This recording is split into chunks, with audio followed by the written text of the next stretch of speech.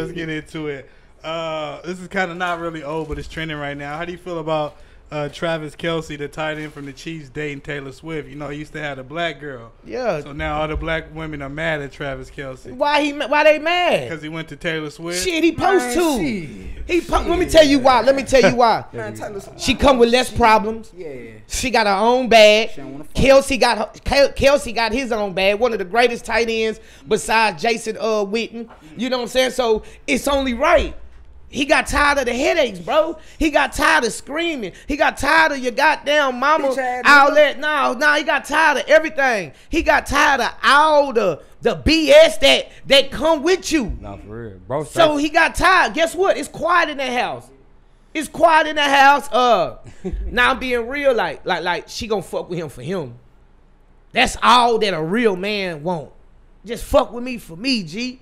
You know what I'm saying? That's all that anybody will want. I ain't gonna lie to you. That's all anybody will want.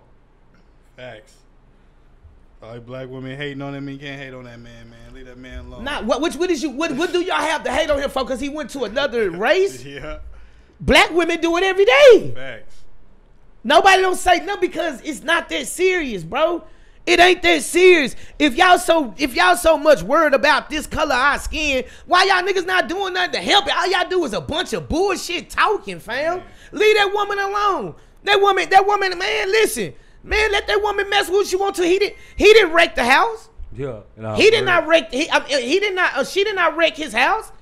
Come on, my nigga. Y'all gon' nah, man. We ain't doing no picking and choosing. We ain't doing no picking and choosing. Oh, what's right for him, nigga? That's that man penis. Mm. No, for real. Y'all can't make this man stay with no black woman.